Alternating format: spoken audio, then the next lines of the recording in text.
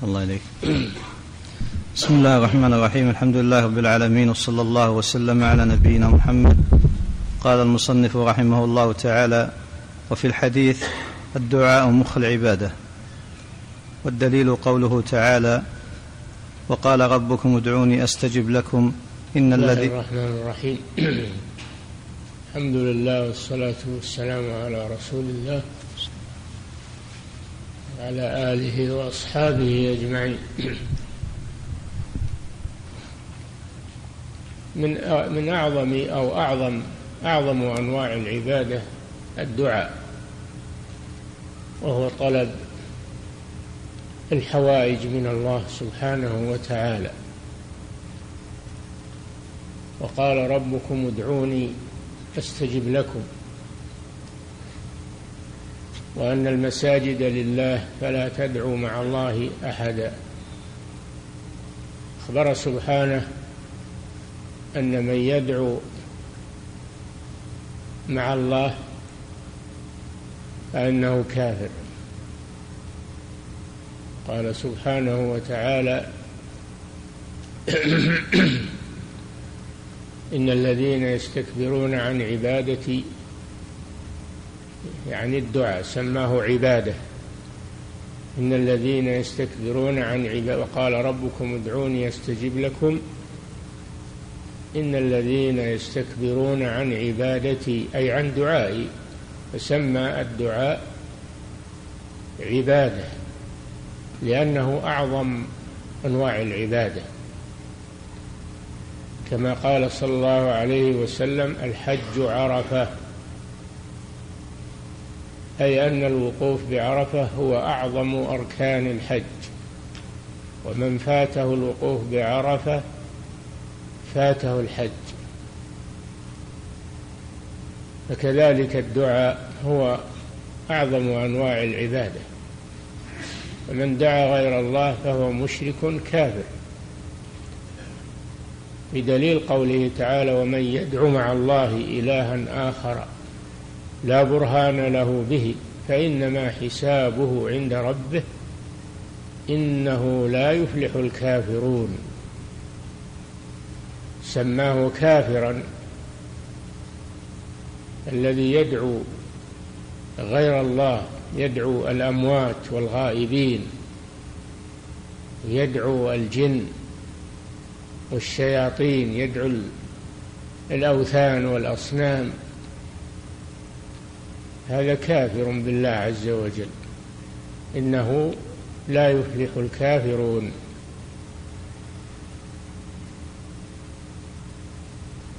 ولذلك تكرر ذكر الدعاء في القرآن والأمر به والنهي عن دعاء غير الله ومن أضل ممن يدعو من دون الله من لا يستجيب له إلى يوم القيامة. وهم عن دعاء عن دعائهم غافلون. وإذا حشر الناس كانوا لهم أعداء كانوا بعبادتهم أي بدعائهم سماه عبادة. كانوا بعبادتهم أي بدعائهم إياهم كافرين جاحدين له يوم القيامة. لأن المتبوع يتبرأ ممن تبعه يوم القيامة على الضلال وعلى الكفر. تبرأ منه. دل هذا على عظم الدعاء وأنه أعظم أنواع العبادة. وفي الحديث الدعاء هو العبادة.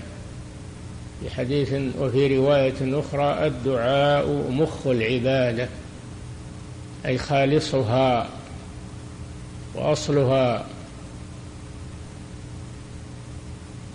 فلا يدعى مع الله غيره لا ملكا ولا نبيا ولا وليا ولا غير ولا حجرا ولا شجرا ولا غير ذلك. نعم. وفي الحديث الدعاء مخ العبادة. نعم. والدليل قوله تعالى يعني خالص العبادة. مخ مخ الشيء خالصه. نعم.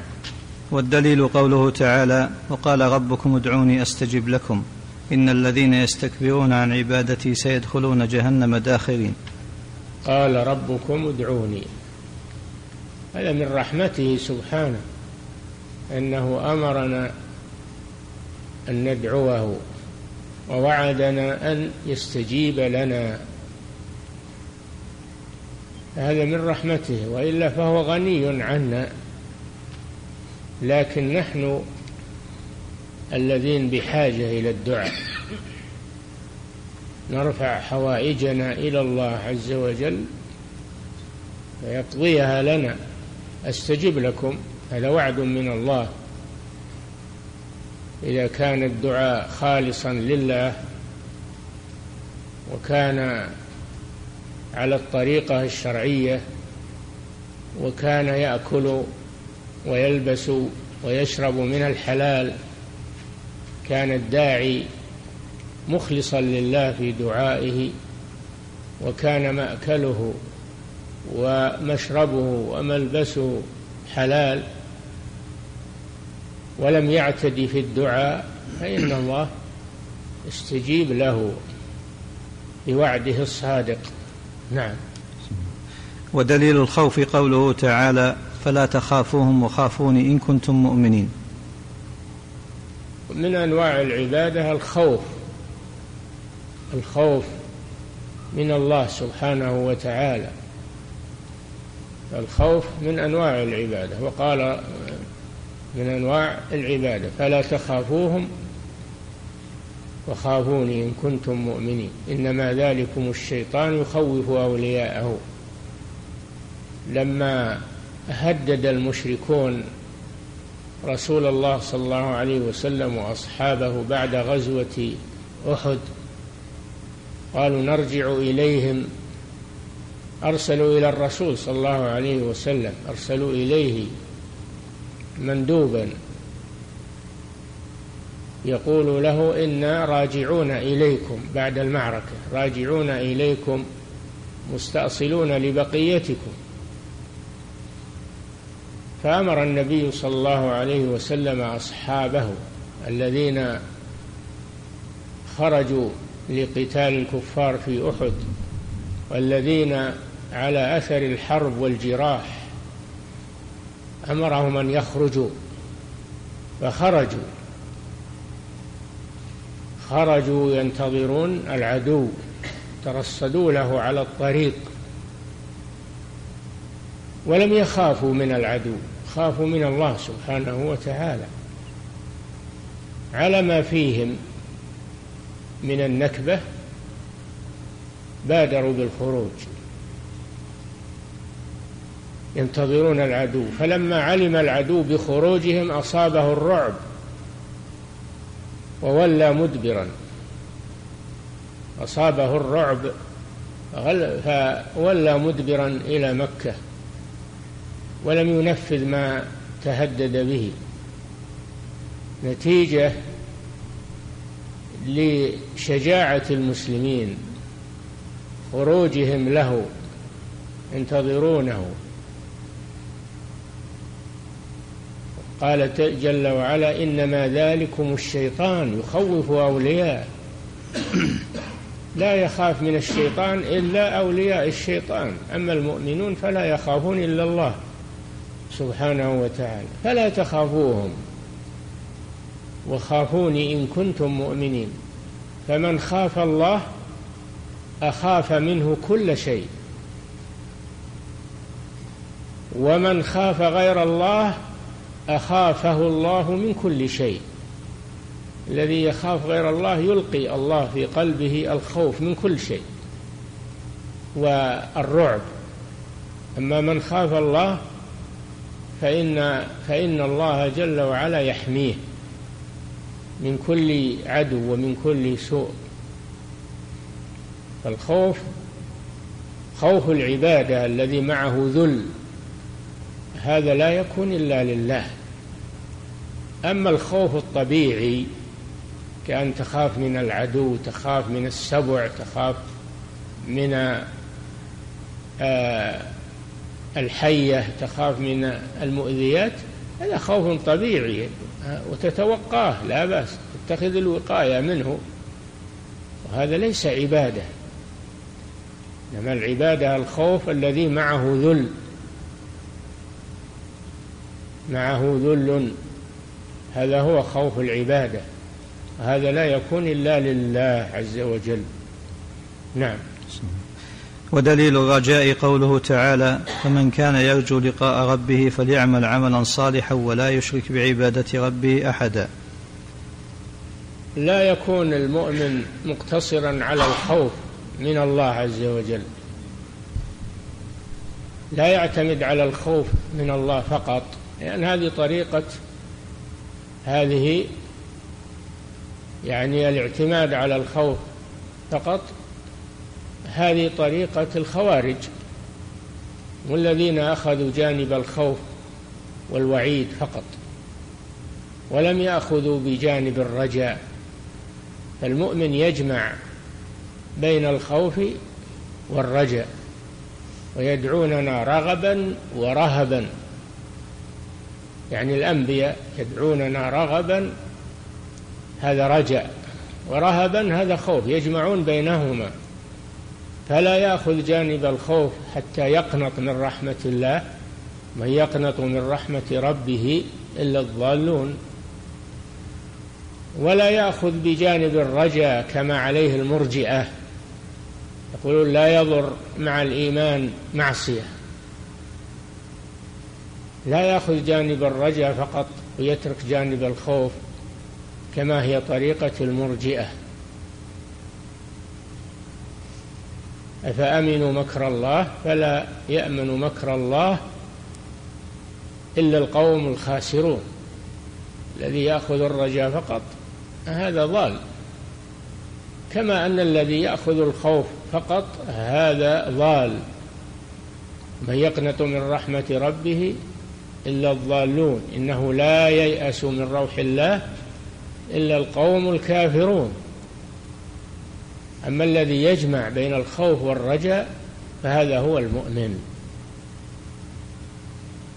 لا يخاف خوفا يقنطه من رحمة الله ولا يرجو رجاء يؤمنه من مكر الله وعقوبته بل يكون بينهما. هذه طريقة المؤمنين بين طريقة الخوارج وطريقة المرجئة. نعم.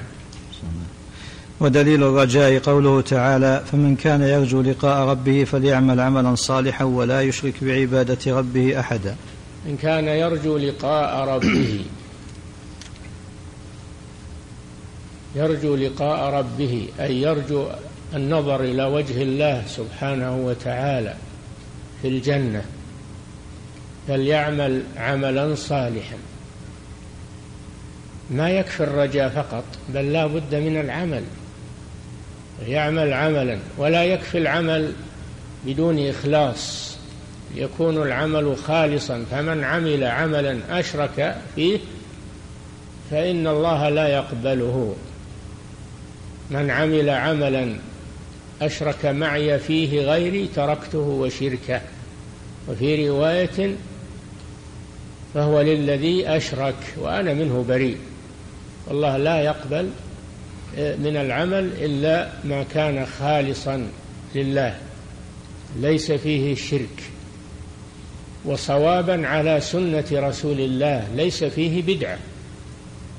فلا يقبل من العمل إلا ما كان خالصا لله وصوابا على سنة رسول الله. هذا هو العمل الصالح. وما عداه فهو فاسد لأنه إما شرك وإما بدعة. نعم. ودليل التوكل قوله تعالى وعلى الله فتوكلوا إن كنتم مؤمنين. توكل وهو تفويض الأمور إلى الله عز وجل الاعتماد عليه. هذا أعظم أنواع العبادة. وعلى الله فتوكلوا ويفوضوا أموركم إليه. اعتمدوا عليه في قضاء حوائجكم. اعتمدوا عليه وحده. لا تعتمدوا على المخلوق فيما لا يقدر عليه إلا الله بل اعتمدوا على الله وحده. ولهذا قال وعلى الله فتوكلوا. هذا حصر تقديم المعمول الجار والمجرور. وعلى الله فتوكلوا. هذا يفيد الحصر أي لا تتوكلوا على غيره. وعلى الله فتوكلوا. ثم قال إن كنتم مؤمنين. دل على أن الذي لا يتوكل على الله أنه ليس بمؤمن. والتوكل من أعظم أنواع العبادة. نعم. وقال ومن يتوكل على الله فهو حسبه. ومن يتوكل على الله فهو حسبه أي كافيه. فإذا توكل المسلم على الله كفاه الله ما يحذر ويخاف. إذا توكل عليه توكلا صحيحا فإن الله يكفيه ما يهمه ويحميه مما يخاف. نعم. ودليل الرغبة والرهبة والخشوع قوله تعالى إنهم كانوا يسارعون في الخيرات ويدعوننا رغبا ورهبا وكانوا لنا خاشعين. هذا دليل ثلاثة أنواع من أنواع الرغبة والرهبة والخشوع في هذه الآية. إنهم كانوا أي الأنبياء يدعوننا رغبا. هذا فيه الرغبة. راغبون إلى الله سبحانه وتعالى. ورهبا يعني خائفين خائفين من الله سبحانه وتعالى. وكانوا لنا خاشعين أي خاضعين ذليلين إلى الله سبحانه وتعالى. فهم جمعوا بين هذه الأنواع الرغبة والرهبة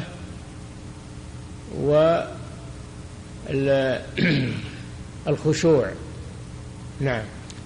ودليل الخشية قوله تعالى فلا تخشوهم واخشوني. فلا كما سبق فلا تخشون إنما ذلكم الشيطان. آه، فلا تخشوهم واخشون إن كنتم مؤمنين. أتخشونهم فالله أحق أن تخشوه إن كنتم مؤمنين. دل على أن الخشية أنها من من أعظم أنواع العبادة. وأنه لا يجوز أن يخشى أحدا إلا الله. خشية العبادة أما خشية الطبيعية هذه شيء آخر لكن خشية العبادة التي معها رغبة ورهبة ومعها طمع رحمة الله وخوفا من عقاب الله هذه لا تكون إلا لله سبحانه وتعالى. نعم. ودليل الإنابة قوله تعالى وأنيبوا إلى ربكم وأسلموا له. أنيبوا يعني توبوا. الإنابة هي التوبة والإنابة في الأصل الرجوع رجوع إلى الله سبحانه وتعالى. فالمسلم إذا صدرت منه معصية لا يقنط من رحمة الله بل يتوب إلى الله ويتوب الله عليه لأن الله أمر بالتوبة. وأمر بالإنابة. فالمسلم مهما بلغ من المعاصي فإنه يتوب إلى الله ولا يقنط من رحمة الله. قل يا عبادي الذين أسرفوا على أنفسهم لا تقنطوا من رحمة الله. إن الله يغفر الذنوب جميعا. فالتائب من الذنب كمن لا ذنب له. وليس هناك ذنب. ليس هناك ذنب من الذنوب؟ لا تكفره التوبة مهما بلغ من الكفر والشرك. قل للذين كفروا إن ينتهوا يغفر لهم ما قد ما قد سلف. الكافر والمشرك إذا تاب تاب الله عليه. الزاني والسارق وفاعل الكبائر إذا تاب تاب الله عليه. فالتوبة لا يبقى معها ذنب. إذا كانت خالصة توبة صحيحة لا يبقى معها ذنب. فلا يقنط المسلم من رحمة الله. مهما بلغت ذنوبه ولكن يتوب. توب إلى الله عز وجل.